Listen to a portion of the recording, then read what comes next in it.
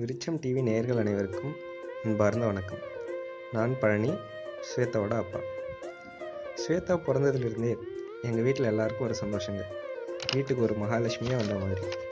அவள் சின்ன வயசுலேருந்தே ரொம்ப துரு துருன்னு சுட்டியாக இருப்பாள் சீக்கிரமாக எல்லாத்தையுமே கற்றுப்பா பொதுவாக சின்ன பசங்க எல்லாமே பத்து மாதத்துல தான் நடக்க ஆரம்பிப்பாங்க.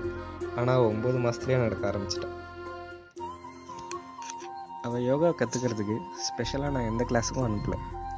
ஏன்னா நான் ஒரு யோகா டீச்சர் நான் எப்போல்லாம் யோகா பண்ணுவேனோ அப்போல்லாம் என் கூடவே ஓடி வந்துடுவாள் அவளோட ஏழு வயசில் யோகா செய்ய ஸ்டார்ட் பண்ணான் இன்னமும் பண்ணிகிட்ருக்கா அவளுக்கு எல்லாத்துலேயும் ரோல் மாடல் அப்புறம் காம்படிட்டர் கூட அவங்க அண்ணா தான். பைக் ஓட்டுறதுலேருந்து ஸ்விம்மிங் பண்ணுறதுலேருந்து ஏன் படிக்கிறது கூட ரெண்டு பேரும் போட்டி போட்டு தான் படிப்பாங்க. அவளுக்கு வில் பவர் ரொம்ப அதிகங்க. எதுவாக இருந்தாலும் தைரியமாக ஃபேஸ் பண்ணுவாள் ஸ்போர்ட்ஸ் யோகான்னு நிறைய மெடல்ஸ் அண்ட் கப்ஸ் வாங்கியிருக்கா. என்னை எப்பவுமே பெருமைப்பட வச்சுருக்கா. அவளோட டேலண்ட்டை வெளியே கொண்டு வந்த விருச்சம் டிவிக்கும் சேர்மன் முத்துக்குமார் சாருக்கும் ரொம்ப ரொம்ப நன்றி. வணக்கம். அனைவருக்கும் அன்பார்ந்த வணக்கம். நான் ஸ்வேதா. பள்ளியில் பன்னிரெண்டாம் வகுப்பு படிக்கிறேன் குறிப்பா நான் யோகா பண்ண காரணம் எங்க அப்பா. ஒருத்தருக்கு யோகாவோடைய முக்கியத்துவம் தெரிஞ்சுட்டா அதை அவங்க அவங்களுடைய தினசரி பழக்கமாவே மாத்திப்பாங்க. சூரியனுக்கு யோகாசனத்துல முக்கியமான பங்கு இருக்கு. அதனாலதான் சூரியன் உதிக்கும் போதும் சூரியன் மறையும் போதும் யோகாசனம் பண்ணணும்னு சொல்லுவாங்க. பொதுவா வருமுன் காப்பதே சிறந்ததுன்னு சொல்லுவாங்க. அப்படிதாங்க. யோகா பண்றதுனால ஒருத்தர் ஹெல்த்தியாகவும் ஃபிட்டாகவும் இருக்க முடியும். அப்படிப்பட்ட மகத்துவமான யோகாவை எப்படி செய்யறதுன்னு பார்ப்போம். தண்டாசனம். அமர்ந்த நிலையில் செய்யும் ஆசனங்கள் அனைத்தும் தண்டாசனத்தில் இருந்தே தொடங்க வேண்டும். இடுப்பின் இருபுறமும் உள்ளங்கைகளை பூமியில் படுமாறு விரல்களை பின்னோக்கி இருக்குமாறும் வைத்துக் கொள்ளவும். வஜ்ராசனம். குதிக்கால்களை மடித்து புட்டத்தின் அடியில் வைத்துக் கொள்ளவும். இரண்டு உள்ளங்கைகளையும் முழங்கால் மீது வைத்து ஐந்து இயல்பான மூச்சு விடவும். நன்மைகள். அஜீரண தொல்லைகள் வாயு கோளாறுகளை நீக்க வல்லது. தியானத்திற்கு ஏற்ற ஆசனமாகும். தண்டுவடம் நேராக இருக்கவும் இடுப்பு முழங்கால்கள் கணுக்கால்கள் வலிமை பெறவும் உதவுகிறது. சாப்பிட்டவுடன் செய்யக்கூடிய ஒரே ஆசனம் வஜ்ராசனமே.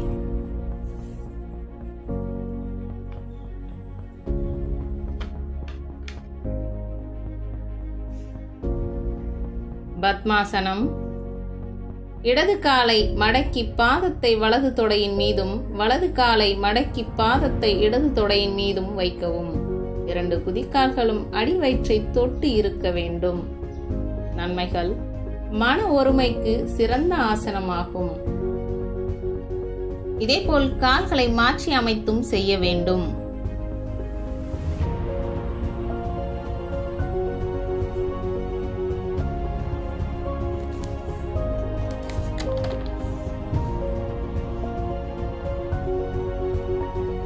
சித்தாசனம் தண்டாசனத்தில் அமர்ந்து கொள்ளவும் குதிக்கால்களை மடித்து பால்பூரியை ஒட்டி இருக்குமாறு வைத்துக் கொள்ளவும் தொடை முழங்கால் தரையில் படுமாறு இருக்க வேண்டும்.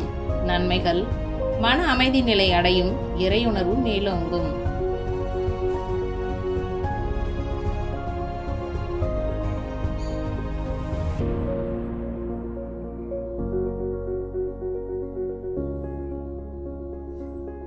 மகாமுத்ரா. வஜ்ராசனத்தில் அமர்ந்து கொள்ளவும் கைகள் இரண்டையும் முதுகுப்புறம் கொண்டு சென்று இடக்கையால் வலது கை மணிக்கட்டை பிடித்து கொள்ளவும் மெதுவாக மூச்சை வெளியே விட்டுக்கொண்டே நெற்றி தரையில் படுமாறு குனியவும். நன்மைகள் பெண்களின் கருப்பை இறக்கத்தை சரி செய்யக்கூடியது. என்ன நேர்களே நீங்களும் இவ்வாசனங்களை செய்து பயனடுமாறு கேட்டுக்கொள்கிறோம்.